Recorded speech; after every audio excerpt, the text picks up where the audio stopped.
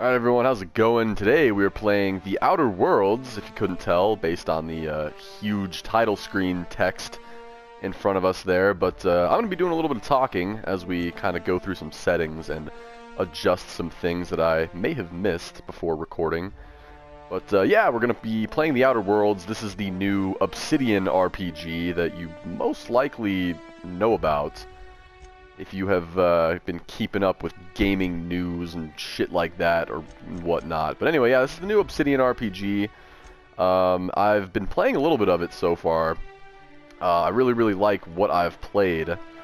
In terms of difficulty, I guess we'll just go with normal. Uh, but anyway, this isn't really exactly a, a blind playthrough.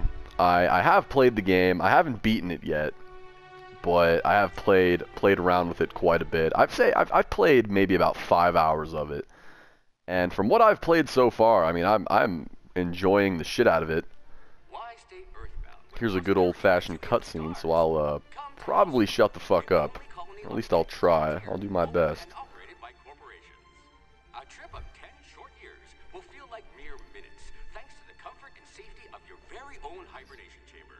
you'll wake up in a perfect society designed to maximize your productivity with guaranteed full employment.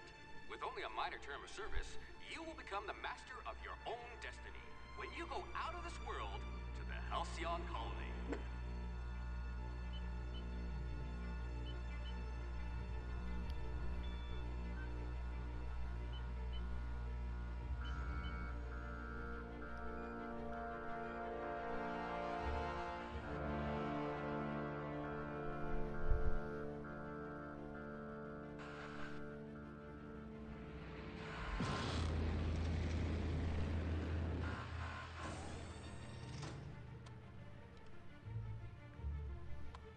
Here we have Rick from Rick and Morty. Just a, a, a, functional version of Rick, essentially. Just Rick if he never turned to alcoholism. That's really all this guy is. I don't even remember his name. Uh, Phineas Vernon Welles. Alright, well, that question immediately got answered. And thus we have the character creator.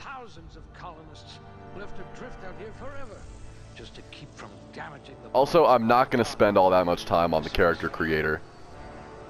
Because, as far as I know, um, there's no way to go into third person in this game like there is in, like, Fallout or Skyrim or games like that. So, when it comes to my appearance, I really don't care what I look like. But this, this is the stuff that matters. This is These are our attributes. So, what do we... I, I like strength.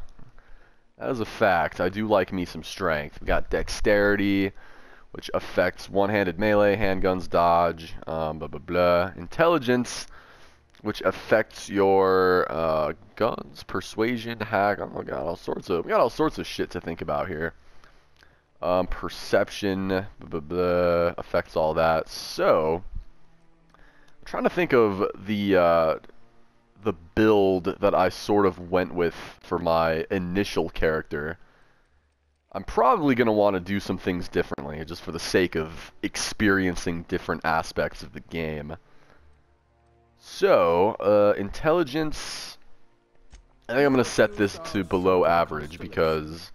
Um, as you can see, if you read that text down on the right, says, words are hard, thinking no good, dumb dialogue options unlocked, uh, dumb dialogue options are actually a lot of fun in this game, and uh, I ended up doing this with my first playthrough, and it, this is something I just don't really want to change. I enjoy being the stupid guy in this game. So far, it's just a lot of fun. I think you guys will enjoy it too. As for perception, eh, um, see, I kind of want to veer more on the more on the end of a guns build. Kind of a guns guy. I'm a bit more into guns. Not to not to negate melee weapons. I don't have a problem with melee, but I'm just a, a bit I have a bit more fun when I take a guns oriented approach. So I think I am going to spec into guns. Also charm. Um, one thing I have learned while playing this game, and if you've played Fallout New Vegas, you will you'll be no stranger to this But the speech skills in this game are really, really, really OP. And you can get past a lot of shit just by having a high speech. So I'm going to set this to very high. I also kind of want a... Uh, see, this is lockpick and engineering. I think I'm going to go into perception. I might just leave everything else average, depending on how many points I have. I have one point remaining. That's cool. Uh, strength could be good. This should also, yeah, this will this ups my carrying capacity, which could be good. Although I have noticed that you don't seem to get over encumbered in this game quite as easily as, say, Fallout. I feel like in Fallout, I was just constantly having to like drop stuff or repair stuff. Like I was always over encumbered in that game. Temperaments. Uh, this gives us a little bit of health regen. I do like uh, I do like stuff like that. Also affects two-handed melee, your lying, your sneak, your medical, your engineering, and your determination. I might just set this to good. That could be good. Yeah, we get a little bit more health regen. That could be good. I think I'm good with all that. And now we have got we've got two things that we can sort of uh, select as like tag skills. Remember how with the the Fallout character creator had you kind of select like a tag skill and it would put a it, it would just sort of dump points into it from the get-go. That's kind of what this is. I think I want to go with go with ranged. I do. There we go. That, that's looking good. And uh, dialogue. Ranged in dialogue. That looks good to me. Looks very good. And we get to select an aptitude. I don't even. I forgot all about this. Holy shit. So uh, no dis no discernible aptitude. Also, uh, I don't know if this really applies to you guys watching on YouTube, but on my TV, the text for this game is like ridiculously small. It is just a bitch to read. I, I apologize. There's going to be moments where I'll have to pause because I'll have to literally stand up and get closer to my TV, but that's neither here nor there. So we get to select an aptitude, and this, I guess, um, makes it a little bit easier to learn certain skills. Uh, cashier gives us persuasion. That's shock damage. That's kind of random. The engineering plus one. That could be good. I mean, let's just, you know, kind of weigh our options here. N-ray damage received. Some of these just seem oddly specific. Inspiration plus one. Medical plus one. Plasma damage, science plus one, one-handed melee. Um, we could just make a really idiotic, like, science savant, like like a character who's just absolutely retarded at everything, but they're just a genius scientist. From what I can remember, though, engineering is a pretty useful skill to have. I think I'm just going to go with science, though. We'll change things up. I'm a level zero, class A scientist assistant. I wonder what experiments you were subjected to. Perfect. I might have to turn the master volume up a little bit. I can't really hear Phineas too good when he's talking. Uh, we could be a male or a female. I'll be a male. I'll, maybe, maybe I'll try to make this guy look like me. I feel like that'd be really hard, though. It'd take forever. This game could never possibly comprehend my unstoppable beauty. Uh, I guess we'll just kind of just kind of make a really random. Like I said, we're not really going to be able to see our character a whole lot throughout the game. I guess we'll just make a weird looking vampire guy. I might honestly just go with this. I might just go with a this preset with a crazy hairdo. How about it? Uh, we're getting warmer. There, I like that. Kind of looks like a chick. I might as well have just gone with the a female at this point, but whatever. Well, I like that green. There we go. That's good. Eyebrow style. Can I unibrow it? Can I get a unibrow? I think that that might be a unibrow. I can't really tell. Um, um, none of these. Uh, okay, yeah, we could just go with no eyebrows. How about that? That's perfect. And we'll go with some facial hair just so we are reminded that our hero is of the male gender. I can't believe they didn't pull a cyberpunk on us and just get rid of the gender option completely. I just make my own custom monster, but you know, here we go. Perfect. I'll just go with that. We'll color up his facial hair to match his hair a little bit more. Perfect. Features. Oh, we can add makeup. I totally forgot. Now he just kind of looks like a looks like a weird like mu mustache prostitute you'd pick up in the real shady part of town. I like that one. It's like simple to the point, sexy, complements everything about the character. Perfect. Uh, let's make him an older dude. Why not? There we go. Set the age up. He's an experienced scientific assistant prostitute. Uh, I don't want to do that. Whoops. Oh, there we go. I just want to do that. All right, we can name him now. What should we name him? I'll just name him after after my my channel, the channel name. We'll name him Moose. Moose. There we go. After Moose Knuckles. He's the the official Moose Knuckles Outer Worlds guy. Perfect. Alright, strength and dexterity are average, intelligence is terrible. He's very perceptive, and he's very charming, and he's good-natured when in the way of temperament. Looks like this is who we're dealing with. What's what's our highest skill? Handguns, uh, handguns and long guns are good. Heavy weapons are good. Hell yeah. Lying is... our highest skill is lying. Damn. Alright. Perfect. Start a game with this character? I believe so.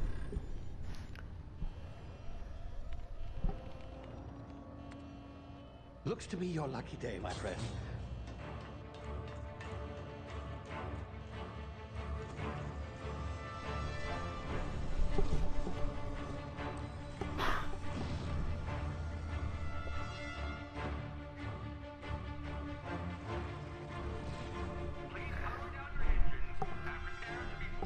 Not likely, bootlickers.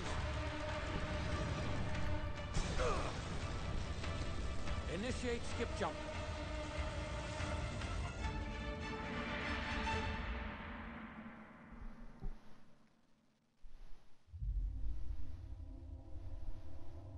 Terra 2, Orbiting Laboratory. This game has got some really splendid visuals, in my opinion.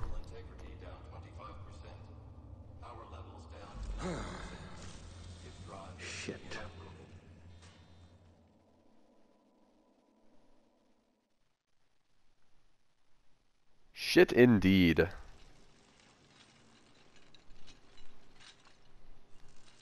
I have to take a big fat piss, so uh, hopefully I can beat this cutscene back. Uh, I'll be Ah, right back. There you are, wondering what's going on, eh?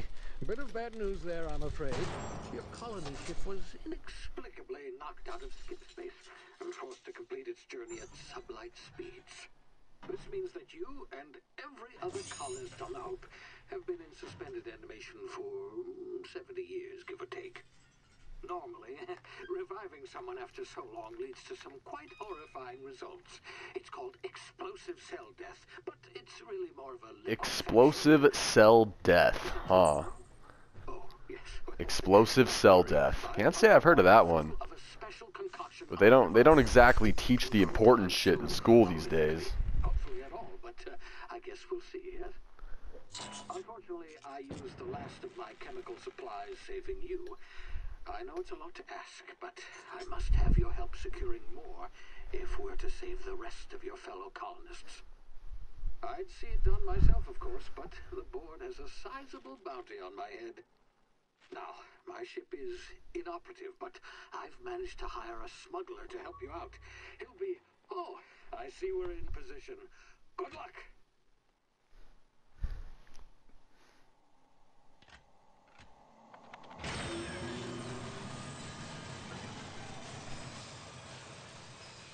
And away we go in our ODST drop pod of glory.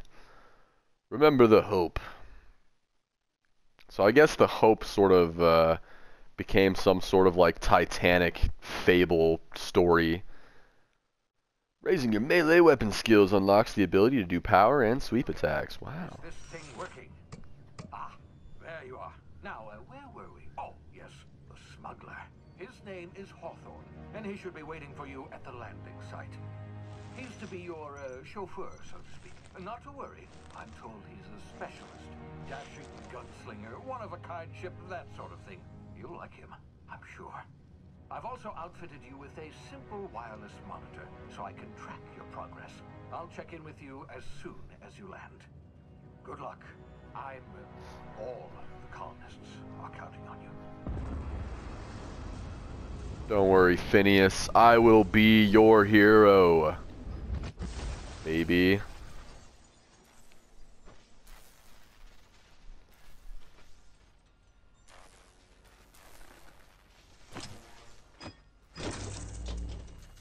Alright, pretty shitty landing. Only imagine things are about to get shittier. Also, I don't remember if I mentioned this, but I have played this game. This isn't a blind playthrough. I haven't beaten the game. I have yet to complete it. So I guess it's blind in the way that I don't know how it ends. Or how anything really pans out. But um, this isn't a blind playthrough. I have played the game. Also, there's the guy we were supposed to meet up with. Uh, we, we done landed on him. It's pretty, pretty funny. Poor guy. As I clear my throat nonchalantly. Alright.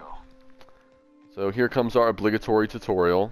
Also, every time I, like, come up on this, I just, I feel like I'm supposed to slide under it. And then when he just crouches and does that, it's just, just anticlimactic. I don't like it. I don't like it, and this game gets a, a 2 out of 10. I'm just kidding. I do really like this game so far. Kind of kind of losing track of what I have and haven't said so far, but yeah, shit happens, you know? I'm a redundant person. A redundant motherfucker. Alright. Got some big alien chicken monsters over there. I'm gonna go ahead and sneak right by them. Hopefully. Yep, alright, everything's going good. I'm supposed to like wait for them to turn around or something, but whatever. Yeah, it's all it's all working out. There we go. Also, um, little pro tip about this game. The fall damage is absolutely nuts. If you're not like really careful going down that, you can basically snap your leg right at the start of the game. This game is kind of Max Payne-like in the way of fall damage. You'll, you'll see what I mean. I mean, come on. Like, I'm gonna try and find a safe way down. Oh, yeah, there isn't one. Good thing I have my puffer. Yeah, take a nice little hit. There's this guy. Totally forgot about him. Now, now try the rest. Spacer's choice. Oh, law, that stings. Alright, medicine 5. I'll patch you up, buddy. Looks like the bleeding stopped. I owe you one. Hope you don't mind me omitting this little exchange for my report. Spacer's Choice doesn't like us accepting outside help. Uh, bu bu bu. Spacers, what? We're all part of the Spacer's Choice family here. Uh, Not that I deserve to be. Can't even deliver a company slogan. Yeah, man, you suck. patrol. I saw a marauder camp up in the hills. Thought I could take him. Then my gun misfired. Right through my side. I mean, what are the odds of that, right? Just Oh, this dude, like, slipped by with shot himself in the side. And blocked off the exit with those canisters. Do do do. What were you doing out there? You're hiding in a cave, locked up. You're as good as you're as good as dead. Uh, that's kind of jumping the shark a little bit, don't you think? Uh, let's. Uh, what's this about marauders? Gibbering, flesh-eating, law-breaking, unemployed lunatics with guns. Some hullhead grounded their spacecraft out in the open. That's a real good way to attract marauders. See those canisters by the entrance? Marauders come sniffing around in here, and I can take them all out with a single shot. Not bad, huh? Uh, persuade one. I've got a better idea. Give me your gun and I'll go get help. Uh, someone grounded their ship illegally. I'll hunt them down. You're an idiot. Give me your gun before you get yourself killed. Um, I might just be mean to this guy for no reason. Why the fuck not? Yeah. Yeah, you sound a lot like my lieutenant. Here, hope this gun serves you better than it did me. All right. Here, you can have my saber too, for patching me up and all. All Spacer's Choice weapons are now 30% less likely to malfunction. You've tried the best, now try the rest. Spacer's Choice. Hey, you did it. Yes, nailed it that time. Yeah, there you go. You're getting good at that slogan shit, buddy. Uh, what do you know about the Hope? Uh, so tell me where I am. You hit your head or something? You're in Emerald Vale. We're a Spacer's Choice community. Edgewater's a little ways down. Uh, prettiest place in the Vale. be sure to stop by a provisioner's for a can of our famous salt tuna. That sounds absolutely delicious, uh, Guard Pelham, or whatever the fuck, you're, however you're supposed to pronounce that. Um, alright, I'm off. Could ask him some more shit, but not really particularly interesting. So, alright, uh, see you later, Barrels.